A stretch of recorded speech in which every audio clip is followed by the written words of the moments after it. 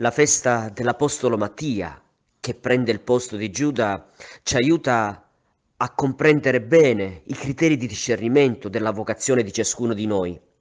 Notiamo innanzitutto che Mattia è colui che viene scelto a sorte e viene invece scartato Giuseppe detto Barsaba.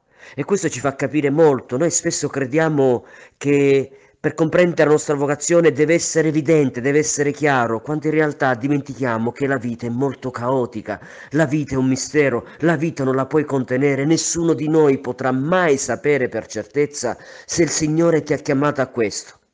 Però nel frattempo la parola ci offre un altro criterio, e c'è quello di essere testimone della resurrezione. C'è nella vocazione colui che ha sperimentato che Gesù è veramente risorto nella mia carne, nella mia storia, che mi ha raccolto, io ero senza speranza, la mia vita era, era insignificante e lui ha fatto della mia vita una resurrezione.